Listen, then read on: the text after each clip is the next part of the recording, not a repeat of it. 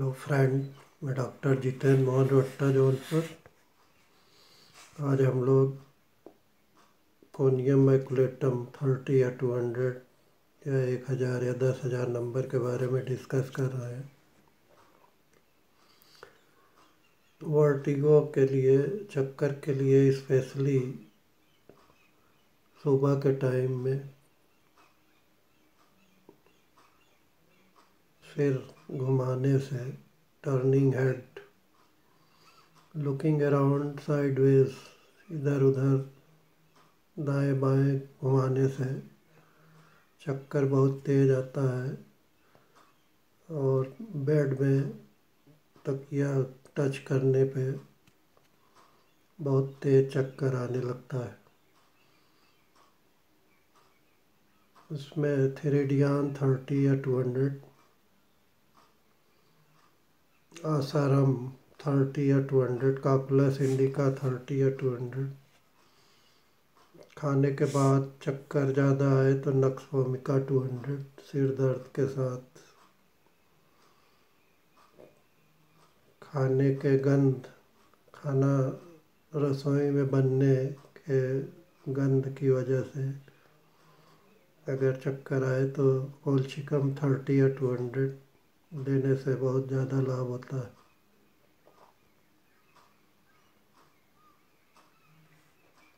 इसमें guilty swelling and induration of glands, guilty में दर्द, स्वेलिंग,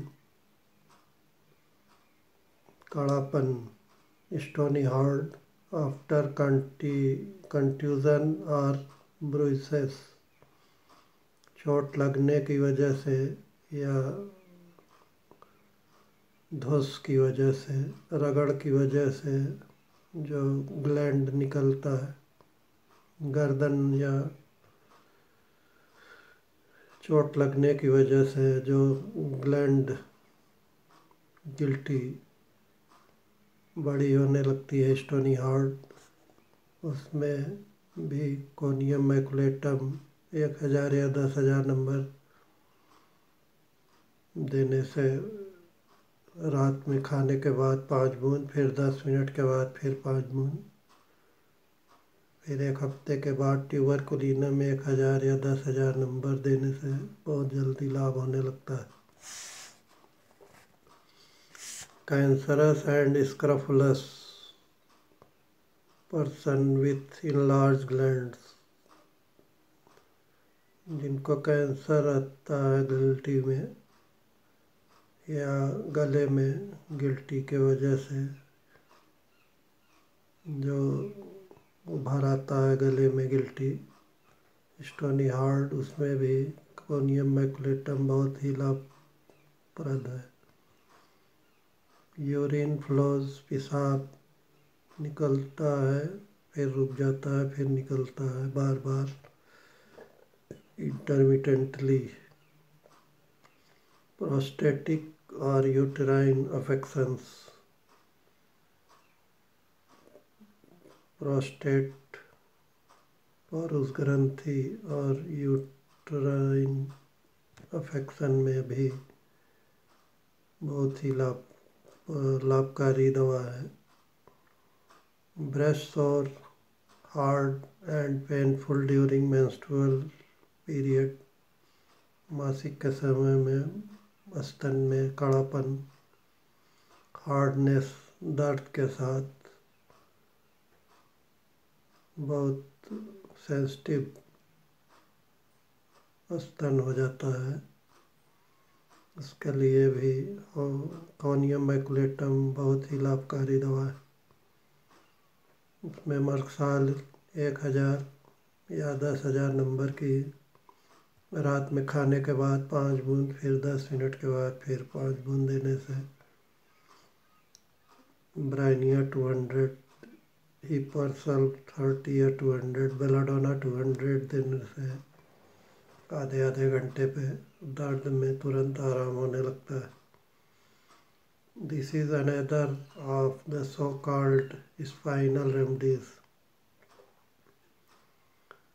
पेट के दर्द के लिए, गर्दन के दर्द के लिए भी का कोनियम मैकुलेटम अच्छी दवा है। I will not as I did under Cocculus indica quote that authorities से from a pathological standpoint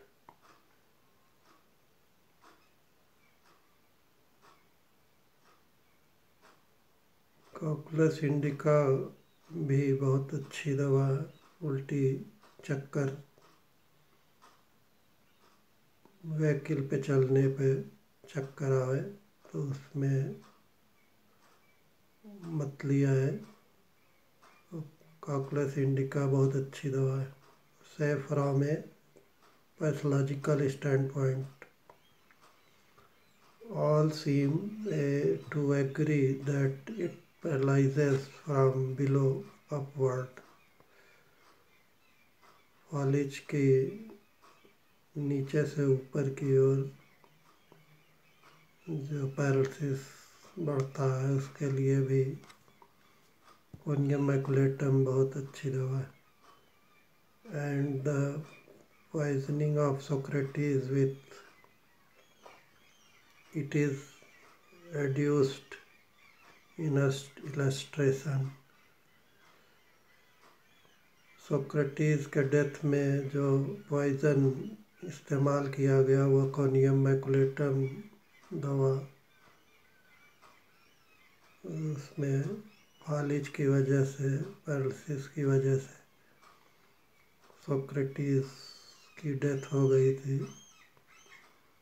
With it is adduced in illustration It ought to be a remedy for locomotor ataxia, the strongest characteristic I know.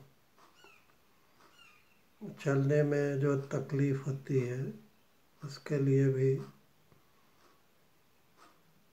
जो paralytic attack होता है उसके लिए भी conium maculatum अच्छी दवा है I know from a homeopathic standpoint it is particular vertigo it's peculiar vertigo which it is which is much aggravated by turning the head sidewise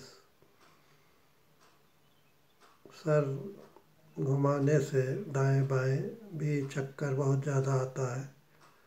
इसमें colocynth two hundred turning head to left बाएँ तरफ़ sir, घुमाने से जो चक्कर आता है, उसमें कोलोसिन टू हंड्रेड देने से भी बहुत ज़्यादा लाभ होता है। Turning over in bed is the same इसी तरह से बेड में तकिया टच करने से जो चक्कर आता है, उसमें भी कोनियम मैकुलेटम बहुत ही अच्छी दवा है और colocynth two hundred Some say lying down in bed and burning, turning over. Bed में लेटने से और सर घुमाने से भी बहुत ज़्यादा चक्कर आता है I have found that it is not so much the lying down as it is turning of the head sideways लेटने से इतना चक्कर ज़्यादा नहीं आता है जितना सर घुमाने की वजह से चक्कर आता रहता है। वेदर इन एन अपराइट और हॉरिजेंटल पोस्चर चाहे दाएँ बाएँ घुमाए, चाहे ऊपर नीचे घुमाए, चक्कर बहुत ज़्यादा आता है। धन्यवाद दोस्तों नमस्कार।